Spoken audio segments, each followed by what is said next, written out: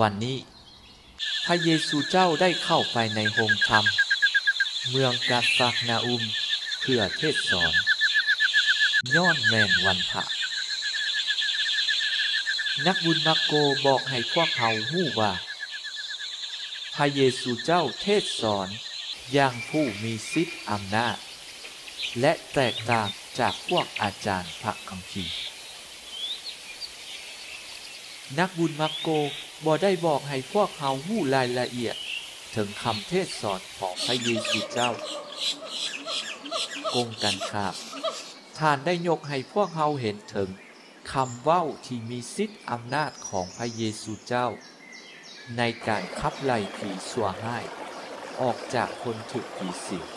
ในเวลานั้น หมายว่า คำเว้าที่มีสิทธิ์อำนาจของพระเยซูเจ้านี้ เป็นคำเว้าที่ปลดปล่อยมนุษย์ ออกจากอำนาจของผีสัวห้เป็นคำเว้าที่ให้มนุษย์มีชีวิตใหม่ในการเป็นลูกของพระเจ้า ย้อนพระเยซู แม่นพระวาจานาของพระเจ้า ที่ลงมาหับเอากายเป็นมนุษย์ ด้วยเหตุนี้ วาจาของพระองค์จึงเป็นวาจาที่สร้างปลดปล่อย และให้ชีวิต